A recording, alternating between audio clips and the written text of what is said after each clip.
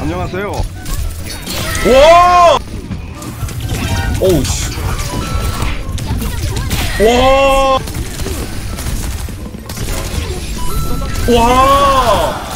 아니 그니까 여기서도 판단이 미쳤던 게 뭐냐면은 네 안녕하세요. 반갑습니다. 오늘의 컨텐츠는 오버워치 2 9시즌이 시작되면서 챔피언이라는 새로운 tier가 나왔죠. 근데 이 챔피언이라는 tier 상상 이상으로 달성하기 어렵다고 하는데요. 시즌이 시작되자마자 챔피언을 달성하면서 킬러로 랭킹 1등을 찍은 핀님의 플레이를 한번 관찰해보는 시간 가져보도록 할 텐데요. 젠야타 승률 64% 키리코 승률 60% 모이라 승률 57% 바티스트 승률 64% 아나 승률 65%인데 그냥 거의 했다면 이겼다는 거죠. OWCS에서 현재 키리코가 대세 힐러이다 보니까 키리코 위주의 경쟁전 플레이를 받아왔는데 뿐만 아니라 바티스트랑 아나를 플레이해왔던 영상까지도 준비해왔으니까요. 같이 한번 봅시다. 와 씨, 근데 멤버가 미쳤다. 상대도 알파이님 개구리님 MCD님.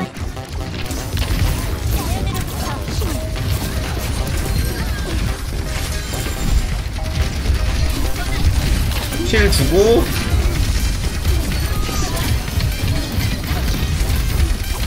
와. 방금 첫 번째 한타에서 되게 중요한 장면이 나왔는데 우리 팀 체력이 물론 치명상일 때 당연히 heal을 줘야 되지만 지금 자리아가 여기 이렇게 full피가 아닌 상황에서도 자리아 heal을 주는 게 아니라 deal을 계속해서 섞어주잖아요. 이게 상당히 되게 중요한 플레이인 것 같아요.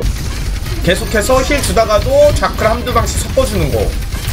이렇게 하지 않고 그냥 무지성으로 부정만 주면은 이기기 진짜 힘들어요. 궁이 왜 이렇게 빨리 차? 궁 차자마자 템포 올리고 오우 씨. 어 상대 키리코 궁극기 타이밍. 근데 자탄으로 포옹해 주면서 오우.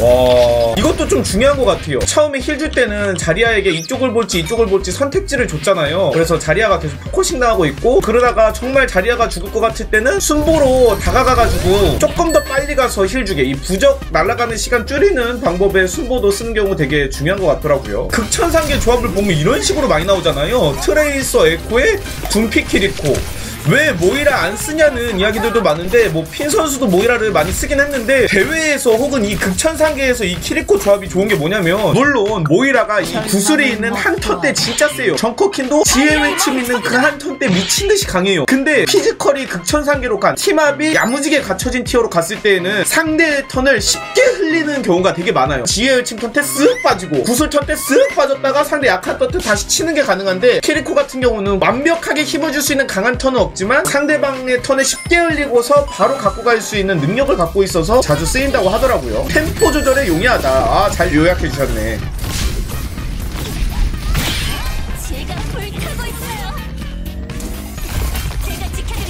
그니까 지금 핀님의 키리코 플레이를 볼 때좀 중요한 부분은 그건 것 같아. 이렇게 계속 deal을 넣어주는데 무리하지는 않아요. 내가 그냥 최대한 살면서 heal 많이 해주고 꾸준히 deal 누적시켜주면 된다라는 거?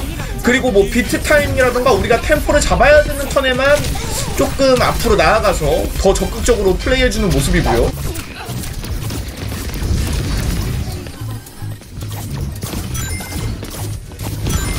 와, 씨. 저 하늘에 있는 걸 왜 이렇게 잘 맞추냐?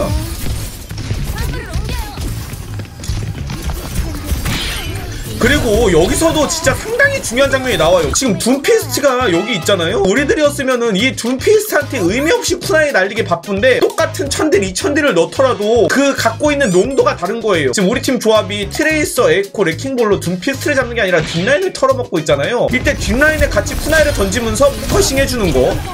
이게 상당히 중요합니다. 킬을 내면 베스트겠지. 막 뒷라인 가가지고. 근데 그런 플레이를 하는 거는 내가 이 티어 키리코가 아닐 때 가능한 것 같아요. 어쨌든 이 키리코는 지원가다 보니까 최, 이 쿠나이라는 걸로 어, 이렇게 딜 보탬을 해줘야 되는 거여서 우리 팀이 뭘 봐주고 있는지 그걸 체크해서 도와주는 게 상당히 중요하다. 안녕하세요.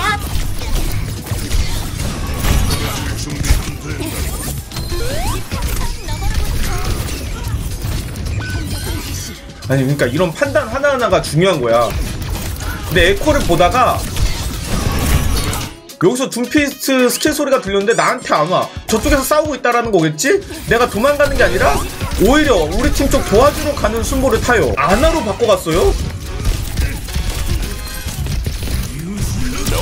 어, 야, 씨. 어우, 야. 서로 스킬 발 잘 피해요.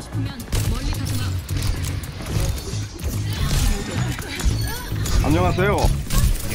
와! 어떻게 이런 플레이를 하지? 난 살다 살다 이런 플레이를 해본 적이 없는데? 개멋있다. 한 발 맞추고 미리 너 내려올 거지? 수류탄 미리 까놔. 이 타이밍 맞춰서. 이게 어떻게 가능한 거야?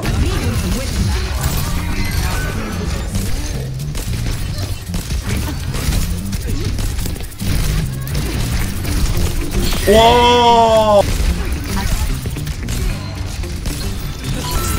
아니 수류탄이랑 이 정화의 방울에 대한 이 엄청난 이해도.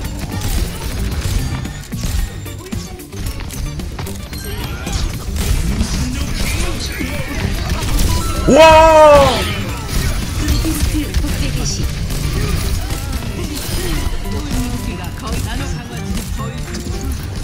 아니 어, 어떻게 이런 게 가능한 거야 도대체? 지금 수면총 쿨타임 2초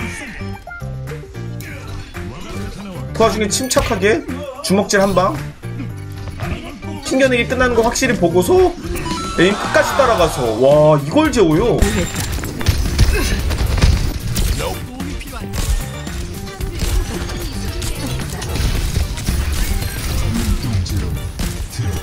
지금 좀 이런 게 중요한 것 같아요. 여러분 아나 할때 제일 중요한 게 뭐냐면은 겐지 소리가 들려오잖아요. 그리고 수면총을 쐈잖아요. 겐지가 나를 물러오는 게 느껴지는 이 사운드 플레이가 들릴 때 자연스럽게 포지션 이동하는 거, heal, deal 주면서 우리들의 tier에서는 이 뚜벅이들이 healer를 할 때 이 자리에 있으면 계속 한타 끝날 때까지 이 자리에 있어. 그게 아니라 우리들이 강한 턴에는 살짝 앞걸음질 쳐주고 내가 좀 스킬 써서 약한 턴에는 자연스럽게 빠져주고 이런 플레이가 되게 중요한데 이런 사소한 부분들을 놓치는 경우가 되게 많아요. 와 근데 이것도 포지션 진짜 좋다. 아 여기 포지션을 잡아야 되는구나. 지금 1거점이 안 밀렸지만 어차피 1거점 마지막에서 싸우게 되면은 이쪽 진영이잖아요. 근데 여기에 있을 때 뚜벅이들 포지션이 되게 애매해. 맨날 여기서 싸우고 여기서 싸우고. 그게 아니라 어차피 여기서 싸움이 벌어질 건 아니까 그냥 미리 여기서 2층 자리 잡아놓는 거죠. 이러면은 둠피스 겐지가 물러올 수도 없고 물러오더라도 상당한 리스크를 짊어져야 되고. 아나 heal 주기 너무 편해 보이죠? deal 넣기도 편해 보이고. heal ban도 들어갔고요. 상대는 당연히 아나 못 물러오죠. 그리고 우리들은 진짜 이런 거를 또 배울 줄 알아야 되는 게 뭐냐면은 브론즈, 실버, 골드까지도 자주 나오는 플레이인데 화물이 여기 있다고 여기서 수비를 하는 사람들이 있어요. 그게 아니라 앞에 나와서 좋은 포지션을 잡고서 항상 수비할 준비를 해야 된다라는 거죠. 아 위도우 잡고 와 진짜 아니 근데 이 예측이 진짜 미쳤다 여길 찾고요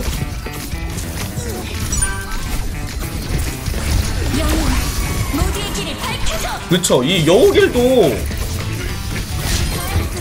이런 식으로 kill을 낼 수 있는 타이밍에 까는 게 상당히 중요한 것 같아요. 이 여우길 어떻게 깔아야 되는지 되게 어려워하시는 분들이 있는데 상대가 좀 깊숙이 들어와서 본인 생존기를 써서 뒤로 빠지더라도 우리가 그걸 쫓아갈 수 있는 거리 정도 된다. 내가 여기를 깔아서 kill을 낼 수 있는 각이 나온다 싶으면 쓰면 되는? 나 궁금한 게 있는데 왜 옛날처럼 키리코가 사이드를 많이 돌지 않는 걸까요? 에코가 있으면 사이드 돌기에 빡세다는 게 상대 에코 때문에 혼자 가는 게 부담스럽다라는 거죠? 경쟁전에서 healer가 heal 안 부족한 healer고 상대 가 사이드 꽉 잡는 영웅들이 아니면 무조건 돌아주는 게 그럼 좋은 거겠네요 여전히. 애들 하늘에 복구해서 미리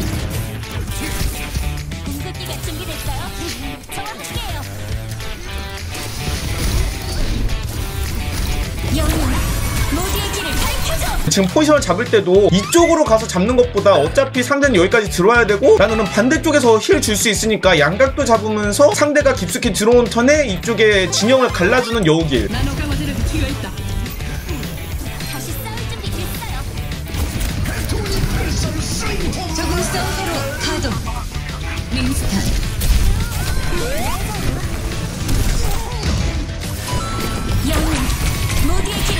자 여기서도 이런 것도 되게 사소한 판단이지만 계속해서 중요한 게 뭐냐면 여기서 나노미스턴 갔죠? 근데 여기서 수면총 잤잖아. 이미 내가 이거 잔 거 봤을 때는 1초 정도 지난 뒤였고 윈스턴 이제 곧 일어나. 자는 거 봤다고 그냥 무척추 반사신경으로 무조건 정화의 방울 던져줄 필요는 없다라는 거지. 정화의 방울 날아가는 시간까지 계산하면 오히려 어차피 일어나니까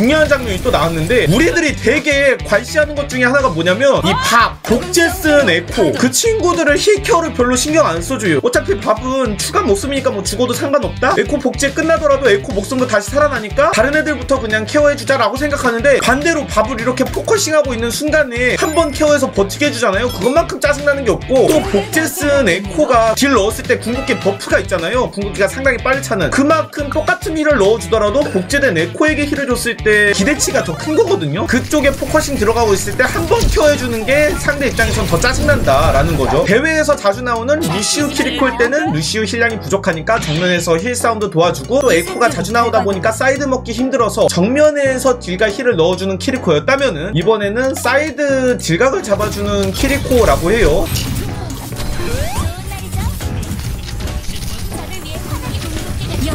여우길 밝혀줘 지금도 여우길을 이런 식으로 까는 것도 참 중요한 것 같아. 매번 깔 때 굳이 뭐 상대가 있는 길에 까는 게 아니라 이렇게 가- 깔면은 쓱 가잖아요. 여우길이. 이러면 지금 상대방 입장에서 뭐 어떻게 할 수가 없는 포지션이죠. 뭐 뒤로 뺀다고 여우길로부터 숨을 수 있는 것도 아니고 상대 진영도 갈라주면서 이 여우길을 충분히 이용할 수 있고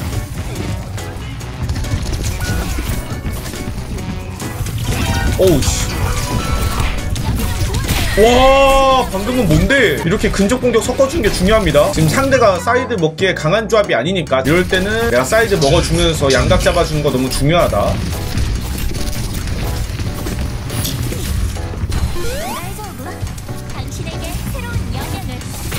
와... 와 에임 뭐야 서로 마주오게 쓰면서 와...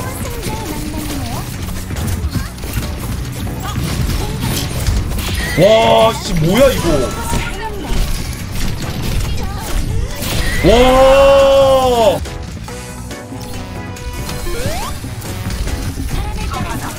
네, 윈스턴 나왔으니까 좀 윈스턴 따라다니면서 focusing 도와주겠죠? 똑같이 deal을 넣고 사이드를 돌아주더라도 우리 팀 tanker가 뭐냐에 따라서 플레이를 다르게 갖고 가줄 필요가 있어요. 레킹볼일 때는 좀 양각을 잡아주면서 레킹볼 찍는 곳에 같이 deal을 넣어준다면 윈스턴이 나왔을 때는 윈스턴을 따라다녀주면서 같이 deal을 넣어주는 등 마지막으로 바티스트를 꺼내셨다는 판 보고서 끝내보도록 할게요. 바티스트 이거 놓치는 분들이 많은데 우리 팀 정확하게 내가 몸뚱아리 맞출 수 있을 때는 몸뚱아리 맞춰야지 벽에 맞춰서 heal 주면 heal량 더 딸립니다. 몸을 정확히 맞췄을 때 heal이 더 들어가요. 와.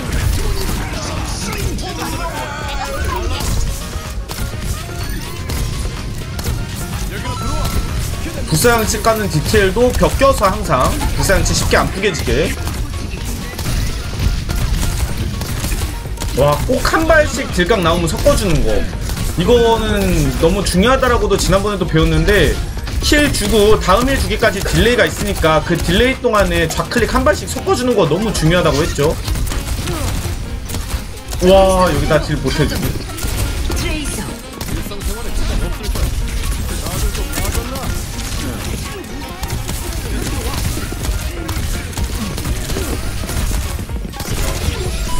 와! 아니 그니까 여기서도 판단이 미쳤던 게 뭐냐면은 여기서 키리코 치명상으로 내려왔을 때 불사 던져줄만 하잖아요. 근데 우리 키리코가 순보랑 정화의 방울 있을 거를 알고 있으니까 굳이 불사장치 안 깔아준 거죠. 니 알아서 살아와라. 그래서 여기서 아꼈던 불사장치. 더 중요한 순간에 쓰게 되는 거죠 이런 식으로. 펄스 부착당했을 때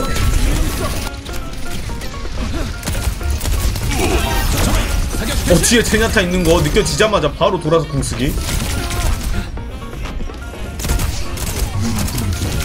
그러니까 이게 진짜 별거 아닌 궁극기 같지만 이 궁을 씀으로써 젠야타는 머리를 숨길 수밖에 없고 이 두 명은 고립될 수밖에 없어요. 뭐 일단 이렇게 해서 오늘 두 시즌 챔피언 그리고 1등을 찍으면서 다양한 healer를 플레이한 핀님의 플레이를 관찰해봤고요. 또 놀라운 사실 핀님은 최근 일본 진출에 성공해서 상당히 흥하고 계십니다. 당연히 한국어로도 방송하고 있다고 하니까요. 한번 유튜브 놀러 가셔서 구독과 좋아요 해놓고 마저 더 배워봐도 좋을 것 같고요. 그럼 저는 또 다음에는 더 다양한 소식과 즐거운 컨텐츠로 돌아올 테니까요. 구독과 좋아요, 알림 설정 한번 부탁드리면서 그럼 다음에 또 만나요. 아, 유바!